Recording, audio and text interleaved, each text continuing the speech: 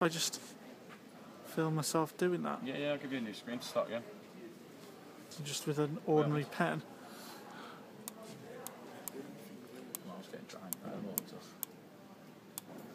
Wow. And then I can do two lines as well if Yeah, I need yeah. to.